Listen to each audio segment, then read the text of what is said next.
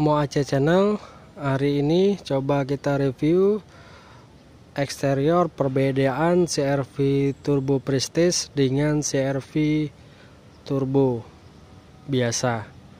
Yang sebelah kiri itu CRV Turbo biasa dan sebelah kanan CRV Turbo Prestige. Kalau kita lihat dari depan untuk keseluruhannya Itu dari lampu yang beda headlampnya dan fog lampnya coba kita lihat uh, dari dekatnya. Kalau grill itu tidak ada sem uh, beda. Bedanya itu yaitu yang di headlamp kalau ini masih uh, eh, LED projector. Maksudnya masih proyektor lampunya. Ini lampu sen di sini dan DRL ini di sini lampunya lampu fog lampnya masih bohlam biasa. Sedangkan yang turbo prestige itu sudah full LED dan ini lampu sen di atas dan LED nya di bawah ini. Selanjutnya fog lampnya itu sudah full LED untuk grill kita lihat lihat di sini yang prestige tidak ada beda coba kita lihat yang biasa turbo biasa. Tidak ada perbedaan. Untuk underguard bawah pun tidak ada beda. Kita bisa lihat di sana. Yang prestige tidak ada beda. Jadi kesimpulannya depan tampilan depan yang bedakan itu eh, lampu utamanya dan fog lamp bisa kita lihat sini ini fog lamp dan selanjutnya kalau di samping yaitu kalau yang turbo biasa sudah tuton polis model kipas. Ukurannya tetap sama dan yang prestige itu tuton polis tapi model palang. Bisa kita lihat sini.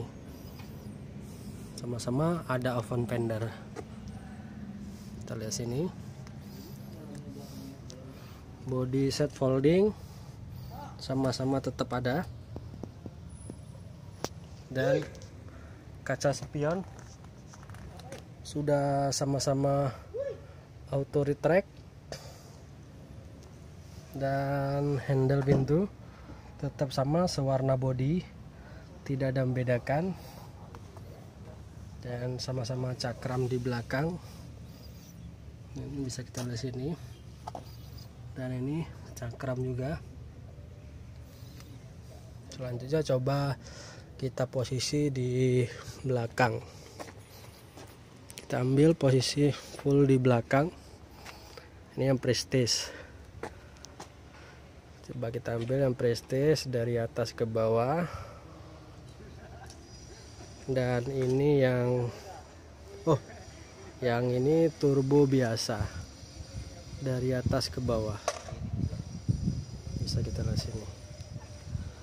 Jadi untuk kombinasi lem belakang tetap sama tidak ada beda.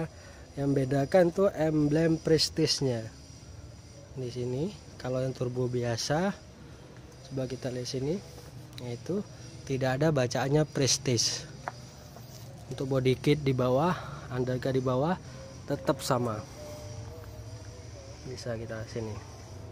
Sama-sama ada lampu reflektor kiri dan kanan dan knalpot dual knalpot nah itu sama-sama dual knalpot dan di atas sama-sama savin antena. Beda. Kalau di eksterior selanjutnya lagi kalau yang prestige sudah elektrik cara bukanya dan ada sunroof di atas. Dan kalau yang tipe turbo biasa ini bukannya masih manual tidak ada sunroof di atas. Sekian review dari saya.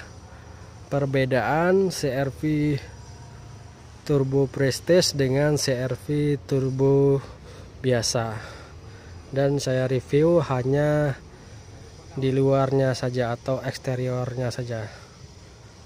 Sekian dan terima kasih. Terima kasih telah menonton